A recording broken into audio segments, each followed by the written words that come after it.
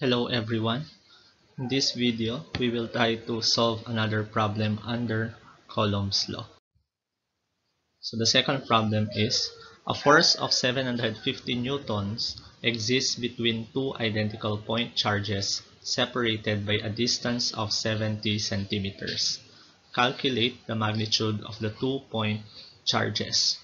So in this problem, we have two identical charges but uh, we do not know its magnitude. Given the force and the distance, we will try to solve for its magnitude.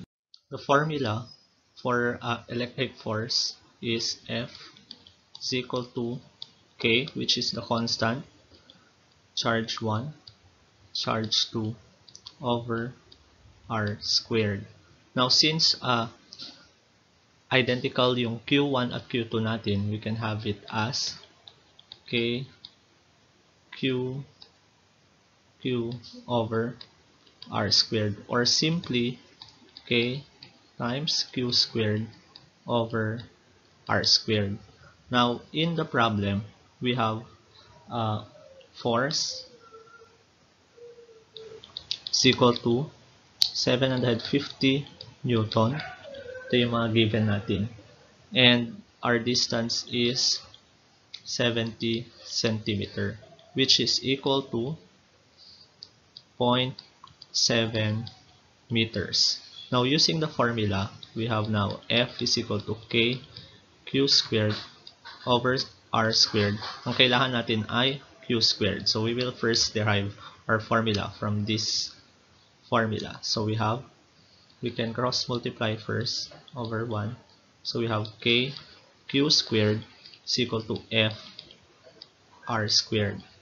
Now since kailangan lang natin yung q dito sa kabila so we both we divide both sides by k. So cancel out na yung k. So we have q squared is equal to force times the distance squared over the constant. Now uh, for us to get rid of the squared dito sa q, we can just uh, but get the square root of both sides. So we have q is equal to the square root of fr squared over k. So this is our formula. So let's erase this first.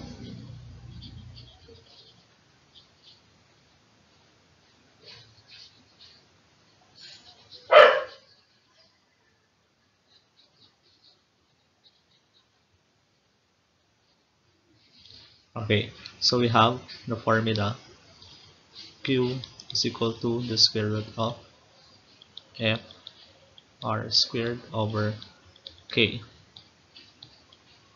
Now, substitute lang natin ito mga given dito sa formula. So we have F is 750 Newton times R squared which is 0.7 meters squared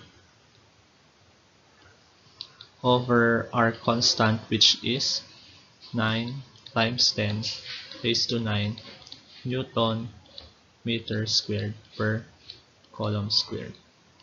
So, cancel out natin yung mga units.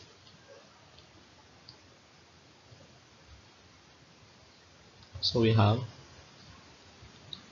so using uh, your calculator, you can get 2.02 times 10 raised to negative 4 coulombs. So, di, ito yung value ng charge natin.